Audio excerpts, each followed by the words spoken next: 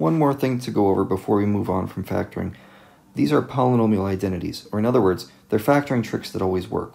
And it would be very, very useful if you memorize these formulas. There's only three of them. They're going to come up frequently. And let's just get into writing them down. You can actually derive all of these for yourselves if you want. Go ahead, pause the video, try to use some of those trinomial factoring tricks that we went over previously uh, with the big X. Try and figure out what some of these things work out to be. Uh, okay, so let's keep on moving with this. So I have here a squared plus 2ab plus b squared. The key to this identity, which is called perfect squares, is that you have a pair of perfect squares right here. That's necessary.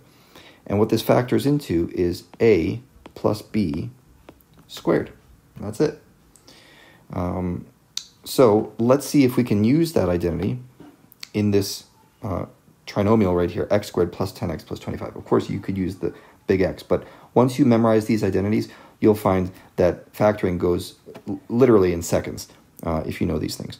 So I'm looking at this and I say, wait a minute, that's, that's an x squared, that's a square. And this 25, that's also a perfect square. Maybe there's, uh, maybe this could work out for me. So what I do in my head is I say, okay, um, here, let's come over to the side here. I'm going to say b squared is 25. Well, that means b equals 5. And if uh, the other term is x squared, that means, okay, so what do we have? a squared equals x squared, that means a equals x. So what is 2ab? Well, that's going to be 2 times a is x times b is 5. That's 10x. Yes, that works. So we have ourselves a perfect square, and we can simply write this as x plus 5 squared. Okay? So that works out. Let's try it again here. We see this trinomial is a squared minus 2ab plus b squared. It looks so similar to the one above it. This is also called perfect squares. Okay, so perfect squares, when you're talking about an identity, refers to both of these things. In this case, it's a sum. In this case, uh, well, I don't want to call it a difference. Let's just call them both perfect squares. So in this one down here, uh, instead of a plus b squared, it's just going to be a minus b squared. And if you go through the polynomial multiplication, if you don't believe me, you can work your, work your way backwards and see that it, uh, all the terms match up. Now let's go into this example. I'm going to say, uh, hey, in this example I have here, b squared equals 36, a squared equals, well, before we get, get into a squared, let's just figure out what b equals. If b squared is 36, then b equals 6. And if a squared equals 25x squared, then a equals 5x, right? Just the square root of it. So the test to see if perfect squares is going to work is quickly just doing a little multiplication here, saying 2 times a, a is 5x, times b, b is 6. Does that equal 60x, the term in the middle? And if you multiply this together, you'll see it does. So we have here another perfect square. This is going to be 5x, that's a, minus b, and b is 6. So 5x minus 6, don't forget the squared. Okay, so that is how you use the identity of perfect squares in either case. Now, one that comes up super common is this identity here called difference of squares. That's why I didn't want to call the other one a perfect difference of squares. This is difference of squares. And the reason it's called difference of squares is because you have a squared and b squared, and we're taking the difference of them, right? It's a squared minus b squared. So the formula for this, the one you should absolutely memorize, because this comes up so often, is a plus b times a minus b. Okay, all you have to do to confirm that this is a difference of squares is examine those two terms and, and ask yourself, are these actually squares? So if I say to myself, a squared equals 9x squared. What's the square root of that? That's uh, 3x. And if I say, okay, b squared equals 16, the square root of that is 4. So we simply write 3x plus 4 and 3x minus 4. And that is this example.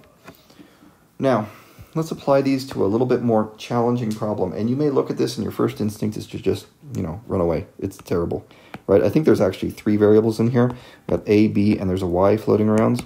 Okay, so how do we deal with this? If you remember back to previous videos, what I told you to always, always do before you start heavy duty factoring is always look for a GCF. If you find a GCF, everything gets easier. And I can tell just from looking at this that one of the GCFs is 3. I don't know if it gets to be a higher number than 3, but I know 3 is going to work because um, here's a trick about 3s if you didn't know it. 2 plus 7 is 9, 9 is divisible by 3, that means 27 is divisible by 3. 7 plus 2, again, 9, it's divisible by 3. Uh, 4 plus 8, that's 12. 12 is divisible by 3, so 48 is divisible by 3. So I know 3 is going to work. Okay, so there's one common denominator. Maybe there's more. Uh, over here, I've got an a squared and a b. I've got an aby and a by squared. Not a whole lot to work with. However, we can pull out a factor of b.